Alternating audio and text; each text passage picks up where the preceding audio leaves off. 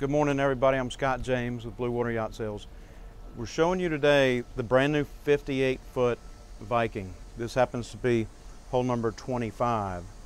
Proportionally, this boat is 58 feet 11 inches length overall, and with the bow pulpit, which is optional, she's 62 feet 11 inches. So, good sized boat. Beam is 17 feet 9 inches, about 5 feet of draft, and full of fuel, she weighs in at about 80,000 pounds. One of the first things you notice when you step on board is how generously sized this cockpit is. It's pretty much standard features. You have a transom door and gate, big transom fish box. This particular boat has the fish box, the transom box rigged as a live well. So it has the clear window, make sure we get a picture of that, clear window with LED lights inside of it.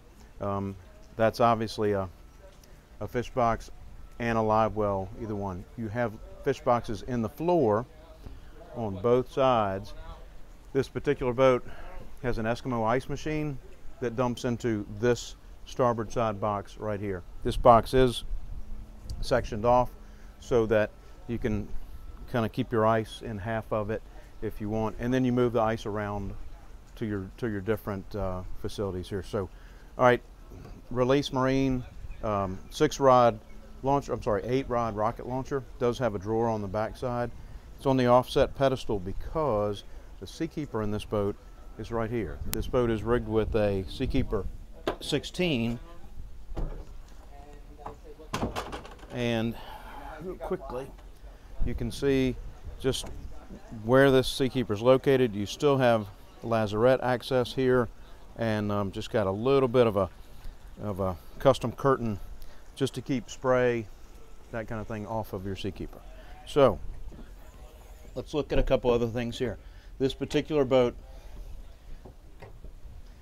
um, has teak on the mezzanine and on the steps going to the bridge, but has a non-skid floor, so a fairly low maintenance, um, uh, low maintenance cockpit here.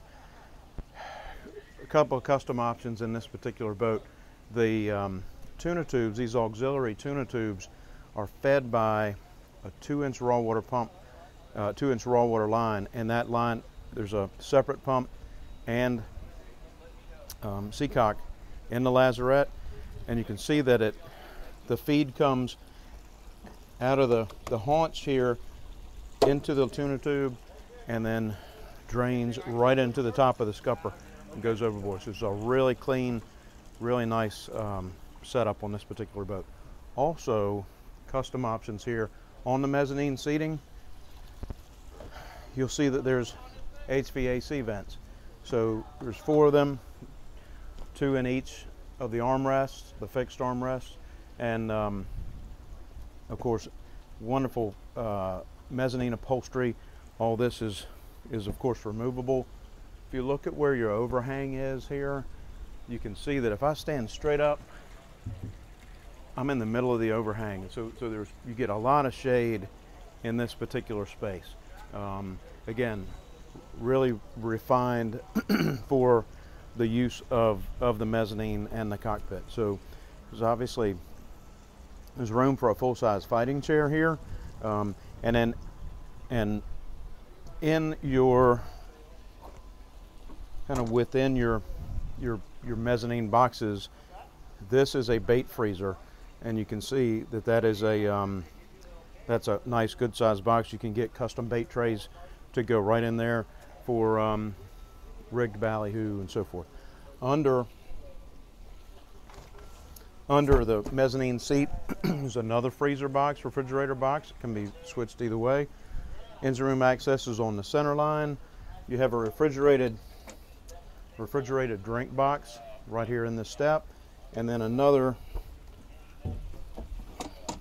small storage box here. A lot of people keep their cleaning supplies, um, that kind of thing, right here in this box.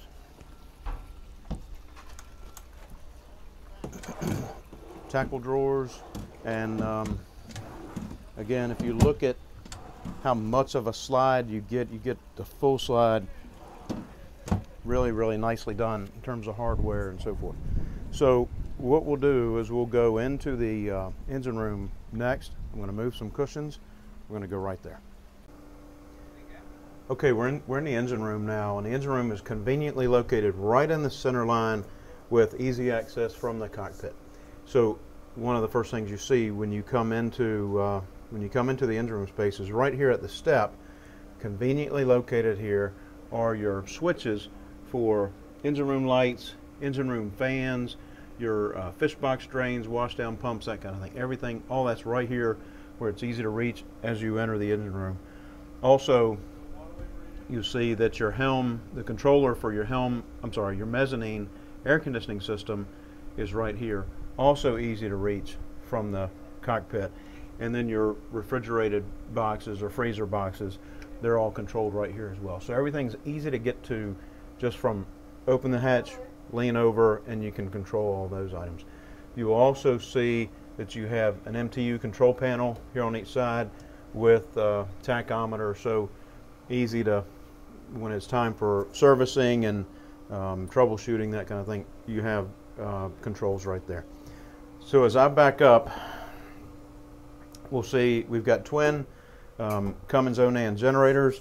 These are um, these are uh, 20 kW generators, 20 kW each, and then twin uh, 10V 1600 horse MTUs.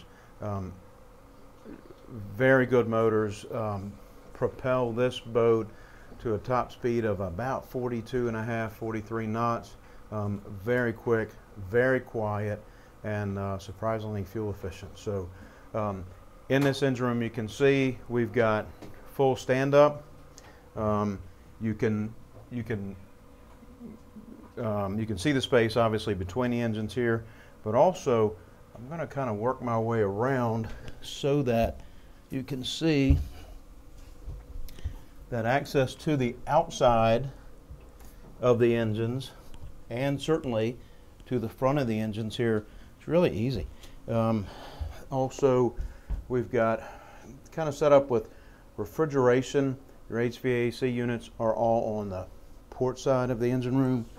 And tools, water makers, has a 700 gallon per day water maker. And, um, and around behind the starboard engine, you'll see the um, ice machine, The Dometic ice machine is up in the corner, and then a condenser for the uh, for the refrigeration cockpit refrigerations here. Um, so while we're here, a couple of things that you notice is how little shaft angle you have. So um, output shaft from the transmission, dripless shaft seals. You'll see that we've got a spare seal that's riding on the shaft just up line a little bit.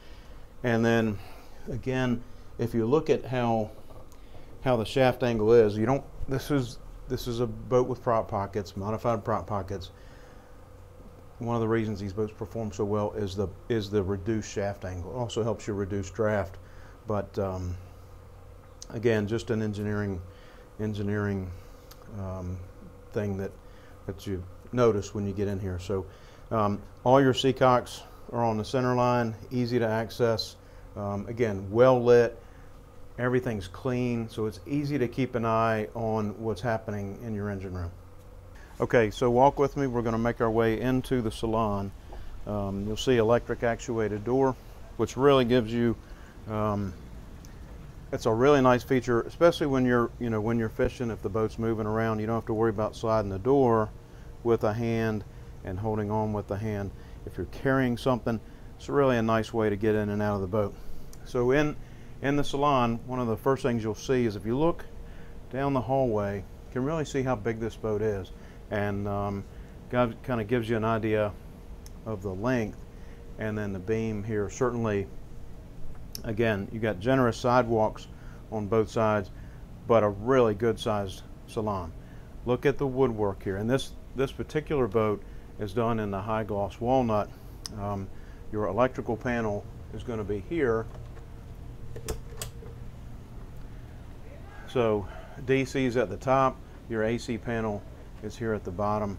Um, most everything can be run and operated from here. Remote starts for your generators, both your generators, Underwater lights are there. And um, storage cabinets throughout. But if you look at the way things are done, this is nice soft curve, just premier woodwork. Pop-up TV is right here.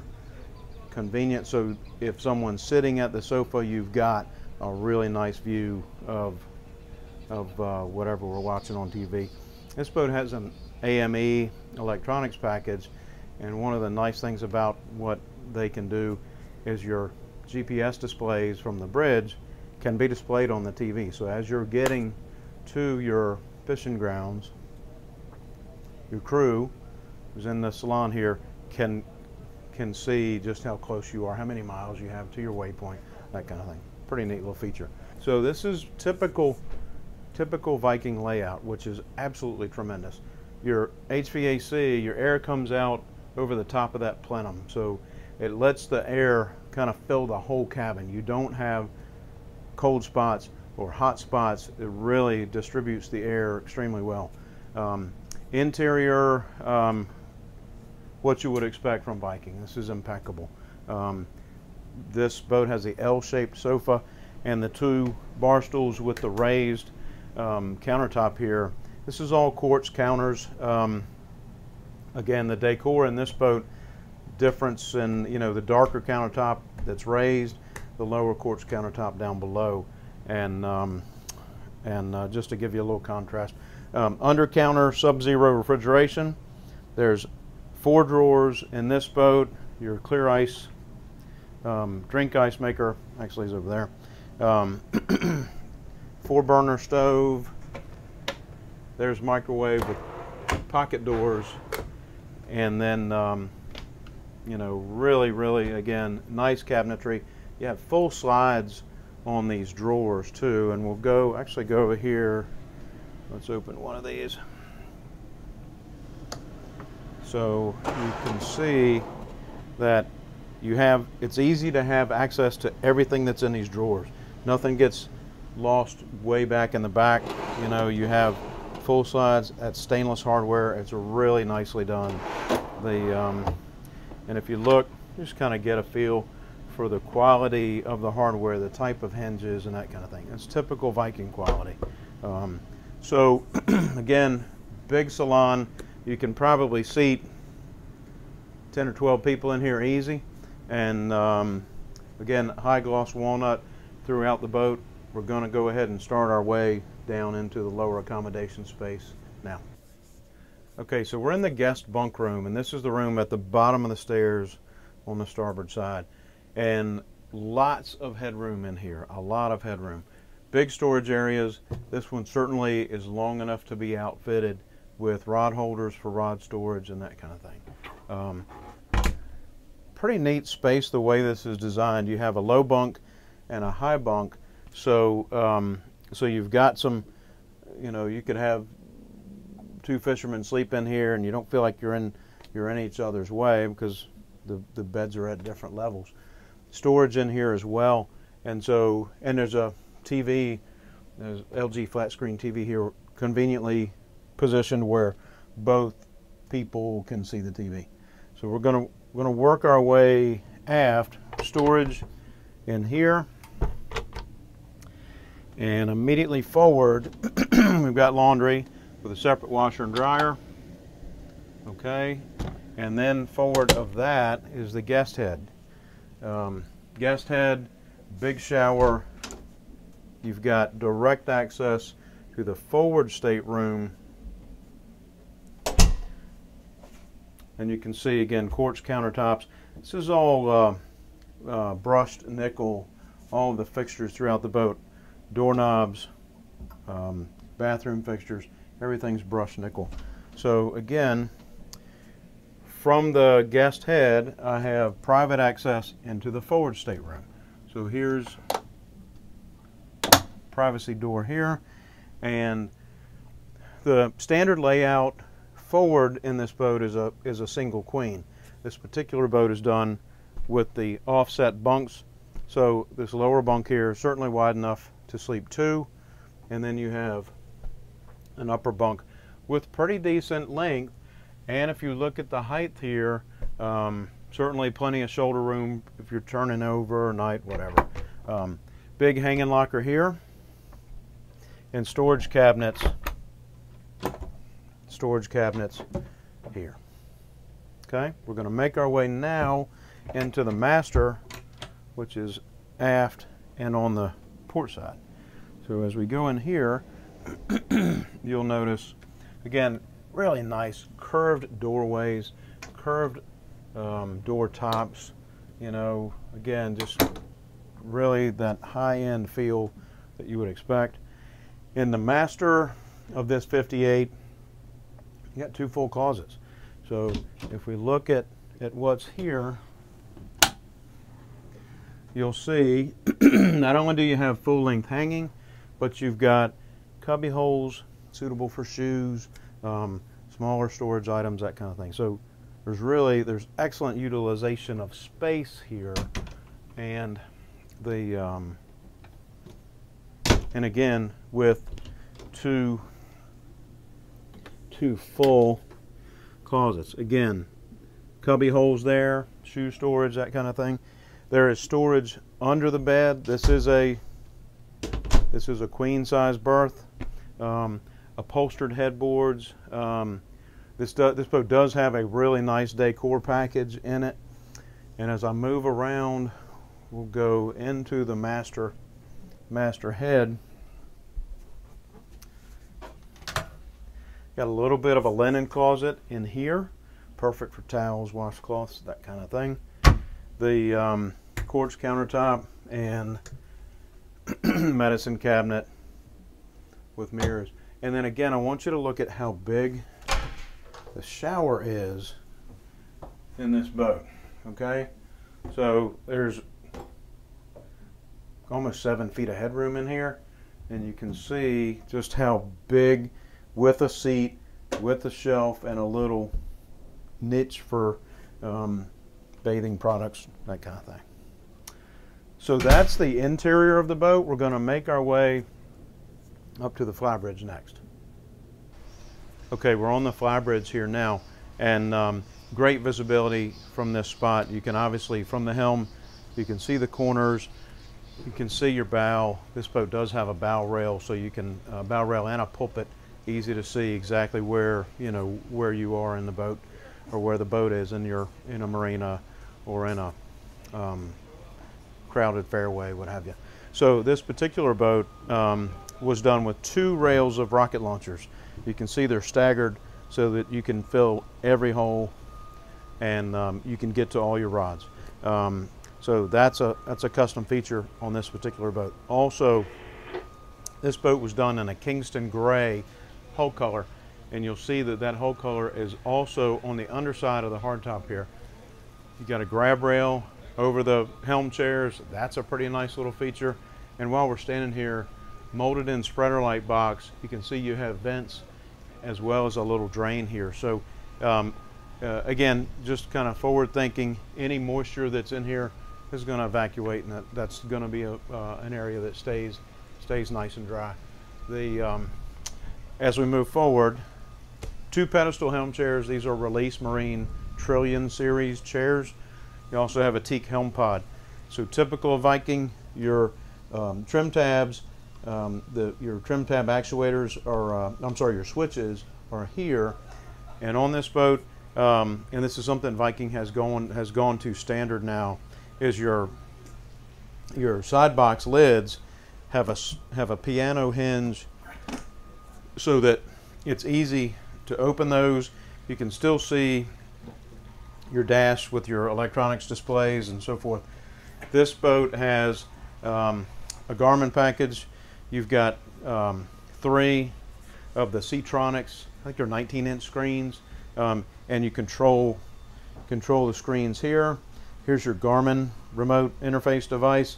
Um, again, your trim tab switches are here, but your trim tab position indicator is right here. Easy to see. Also, while we're in that box, you can see VHF radio, cup holders, your ice machine, your Dometic Eskimo ice machine, that controller is right here. Um, as we move around, we can see um, controls for your FLIR camera are here your bow thruster, the bow thruster can be turned on here and your controllers are in your in the thumbs of your Palm Beach style controls or you can run your bow thruster here. Two spotlights, they're ACR remote spotlights. Um, you've got USB charging ports up here. Again, another VHF radio um, in, uh, in this box as well. So glass lid, so all of this stays dry. Um, when, you're, when the boat's being washed, can wipe everything down. And um, um, so AIS, we see that Bella is right over here, um, close to us. Moving, uh, moving forward, actually, we'll go up here first. So you've got your electric teaser reels are in the overhead. Something else that Viking has started to do here recently is the teaser line is going to run through this little fair lead, out through this grommet, and back to your, you know, back into the ocean. So what you can do is you can grab this line and yank it if you have a fish behind your teaser. Pretty easy to, to yank this, um, to yank either one of your teasers. You're not reaching up into the box. You're actually reaching here, which is nice. Also, drop down box, and on this particular boat, you can see you've got a Furuno RD33. You've got um, fuel tank uh, monitoring here, and then your Seakeeper control panel is there, and then a Garmin display, multifunction Garmin display that's here in, um, in the overhead as well. So um, bench seating on both sides. This boat does also have helm HVAC and you see that we have there's a return right there in front of that speaker and then you've got several vents there's two here at the helm if we move forward you've got two on the sides of the console and then two uh, again fresh air for either heat or cool depending on how you have the the um, your HVAC unit set up so bench seat here, storage underneath. Drink box up here. this box is refrigerated. And um, more storage here. So storage under the two side um, side benches, storage under here, as well as you've got storage for life jackets and that kind of thing underneath the console. Really sleek custom, not a custom, molded, um, rounded, very sleek um, console, center console with toe kick on the edges here, toe kick all the way around. So again, while you're here, the boat's running, these boats are very fast, but they're very safe, a lot of seating and a lot of handholds. So we'll look forward from here. and again, this particular boat was ordered with the pulpit and the windlass. You can see that you have foot pedal controls up there and a big anchor locker door so you can get into the anchor locker and um, clear any kind of um, piles of line that you may have there, whatever. So again, this is the new 58 foot Viking twin 1600 horse MTUs, Seakeeper 16, completely outfitted for family for fishing, and for travel. Again, I'm Scott James with Bluewater Yacht Sales. Thanks for your time.